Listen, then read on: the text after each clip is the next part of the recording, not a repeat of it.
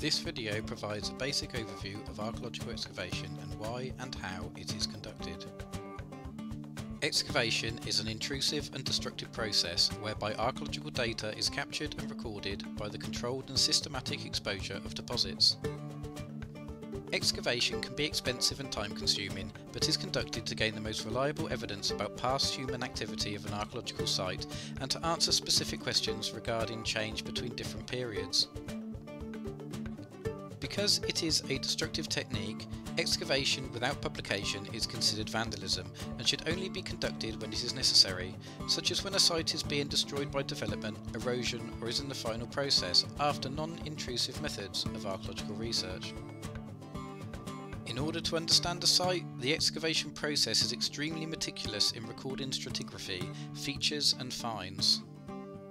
These are recorded by plans, section drawings, photographs, notebooks, find indexes, contents records and sample logs.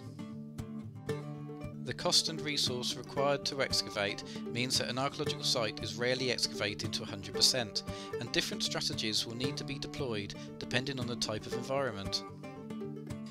The options of a small test pit, trial trench and keyhole excavation are cost-effective processes and an effective way to gain archaeological data quickly and are also used to gather information before a main excavation.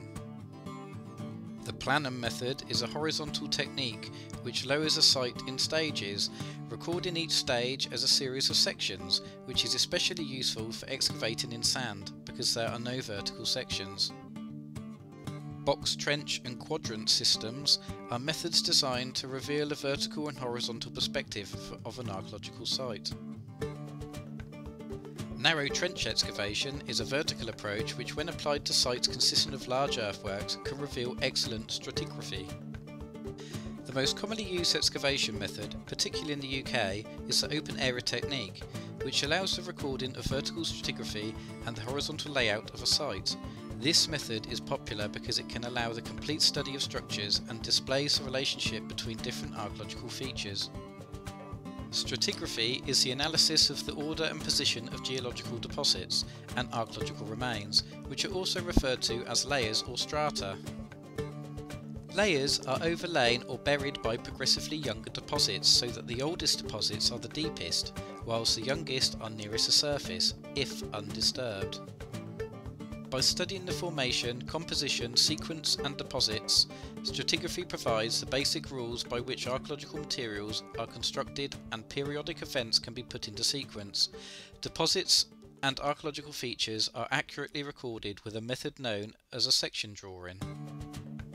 A Harris matrix is produced to provide archaeologists with a graphical representation and visualization of the stratigraphic correlation across an archaeological site in diagrammatic form. Each unit of stratification is represented by a number, which is then inserted into a flowchart.